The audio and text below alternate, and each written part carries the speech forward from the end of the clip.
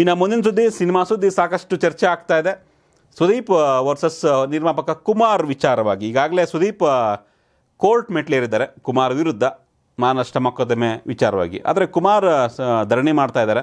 ನನಗೆ ನ್ಯಾಯ ಬೇಕು, ನನಗೆ ಸಂಧಾನ ಮುಖಾಂತರ ನ್ಯಾಯ ಒದಗಿಸಿ ಅಂತ ಕೇಳ್ತಾ ಇದ್ದಾರೆ. ಈ ವಿಚಾರವಾಗಿ ನಟ ರವಿಚಂದ್ರನ್ ಮಾತನಾಡಿದ್ದಾರೆ.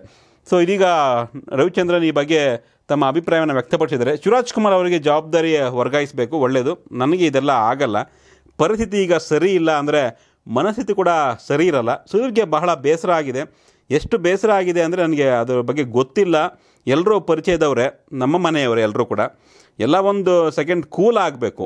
ನಾನು ಎಲ್ಲವನ್ನ ಪರಿಶೀಲನೆ ಮಾಡ್ತೀನಿ. ದಾಖಲೆಗಳನ್ನು ಪರಿಶೀಲನೆ ಮಾಡ್ತೇನೆ. ಆಮೇಲೆ ಸುದೀಪ್ ಜೊತೆ ಈ ವಿಚಾರದಲ್ಲಿ ಮಾತನಾಡಬೇಕಾ? ಬೇಡವಾ ಅಂತ ತೀರ್ಮಾನ ಕೈಗೊಳ್ತೀನಿ ಅಂತ ರವಿಚಂದ್ರನ್ ಹೇಳಿದ್ದಾರೆ. ನನ್ನ ಮಗ ರವಿಚ ಏನು ಸುದೀಪ್, ನನ್ನ ಮಗನ ಮೇಲೆ ಆರೋಪ ಮಾಡಿದ್ದಾರೆ. ಹೀಗಾಗಿ ನನ್ನ ಮಗನನ್ನು ಬಿಟ್ಕೊಡೋದಕ್ಕಾಗೋದಿಲ್ಲ. ಸುದೀಪ್ ಕೋರ್ಟ್ಗೆ ಹೋಗಿದ್ದಾರೆ ಅಂದರೆ ಅವ್ರಿಗೆ ಎಷ್ಟು ನೋವಾಗಿದೆ, ಅವ್ರ ಮನಸ್ಸಿಗೆ ಎಷ್ಟು ನೋವಾಗಿದೆ ಅಂತ ಊಹೆ ಮಾಡ್ಬೋದು.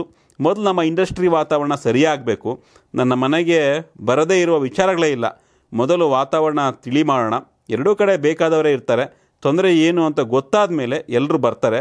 ನಾನಂತೂ ಲೀಡ್ರ್ ಆಗೋದಕ್ಕೆ ಇಷ್ಟಪಡಲ್ಲ. ನನ್ನದೇ ಆದಂಥ ಕ್ಯಾರೆಕ್ಟ್ರು ಕೆಲಸಗಳಿದ್ದಾವೆ ನನ್ನ ಲೀಡರ್, ನಾನು ಲೀಡ್ರ್ ಆದರೆ ಎಲ್ಲರಿಗೂ ನಾನು ವಿಲನ್ ಆಗ್ತೀನಿ ಅಂತ ರವಿಚಂದ್ರನ್ ಹೇಳಿದರು. ಜೊತೆಗೆ ಅಸೋಸಿಯೇಷನ್ ಹೇಗೆ ನಡೆಸಬೇಕು ಅಂತ ಈ ಹಿಂದೆ ನಾನು ಒಂದು ಪುಸ್ತಕವನ್ನೇ ಬರೆದುಕೊಟ್ಟಿದ್ದೆ, ಕೆಲವು ನಿಯಮಗಳನ್ನು ಹಾಕಿ. ಅದನ್ನು ಯಾರೂ ಕೂಡ ತಿರುಗಿ ಕೂಡ ನೋಡಲಿಲ್ಲ. ಸುದೀಪ್ ಮತ್ತು ಕುಮಾರ್ ಇಪ್ಪತ್ತು ವರ್ಷದಿಂದ ಪರಿಚಯ ಇಟ್ಕೊಂಡಂಥವ್ರು ಅವರಿಬ್ಬರದ್ದು ಒಳ್ಳೆ ಗೆಳೆತನ. ಸಡನ್ನಾಗಿ ಬೆರಳು ತೋರಿಸಿದ್ದಾರೆ ಅಂದರೆ ಸುದೀಪ್ಗೆ ಬೇಜಾರಾಗಿದೆ. ಎರಡು ಕಡೆ ಸಹನೆ ಮೀರಿದೆ. ಹೀಗಾಗಿ ಈ ರೀತಿ ಆಗ್ತಾ ಇದೆ. ಎಲ್ಲರೂ ಕೂಲ್ ಆಗಬೇಕು. ಸುದೀಪ್ ಅವರನ್ನು ಕರೆ ತಪ್ಪಾಗುತ್ತೆ. ನಾನೇ ಹೋಗಿ ಸುದೀಪ್ ಬಳಿ ಮಾತಾಡ್ತೀನಿ ಅಂತ ಹೇಳಿದ್ರು. ಇನ್ನು ಈ ವಾತಾವರಣ ನನಗೆ ಇಷ್ಟ ಆಗಲ್ಲ. ಗಲಾಟೆ ಅಂದರೆ ದೂರ ಹೋಗ್ಬಿಡ್ತೀನಿ. ನಾನು ಬೇರೆಯವರ ಬಗ್ಗೆ ಏನು ಮಾತನಾಡಲ್ಲ ಅಂತ ರವಿಚಂದ್ರನ್ ಹೇಳಿದರು. ಆಮೇಲೆ ಶಿವಣ್ಣನೇ ಲೀಡರ್. ನಮಗೆಲ್ಲ ಮೊದಲು ರಾಜ್ಕುಮಾರ್ ಕುಟುಂಬವೇ ಫಸ್ಟು ರಾಜ್ ಕುಟುಂಬದವರು ಏನು ನಿರ್ಧಾರ ಅಂತ ತೆಗೆದುಕೊಳ್ತಾರೋ ಅದಕ್ಕೆ ನಾವು ಬದ್ಧ. ನಮ್ಮ ರಾಜ್ಕುಮಾರ್ ಅವ್ರ ಮನೆಯೇ ನಮಗೆಲ್ಲರಿಗೂ ಹೆಡ್ ಆಫೀಸ್ ಇದ್ದಂಗೆ. ಅವ್ರು ಏನೇ ಹೇಳಿದ್ರು ಅದೇ ಅಂತಿಮ. ಶಿವಣ್ಣ ಈ ವಿಚಾರದಲ್ಲಿ ಬಂದರೆ ಅರ್ಧ ಸಮಸ್ಯೆ ಕ್ಲಿಯರ್ ಆಗುತ್ತೆ. ಮೊದಲು ಶಿವಣ್ಣನ ಬಳಿ ಹೋಗಿ ಅಂತ ನಾನೇ ಹೇಳಿದ್ದೆ ಬಟ್ ನನ್ನ ಹತ್ರ ಬಂದಿದ್ದಾರೆ.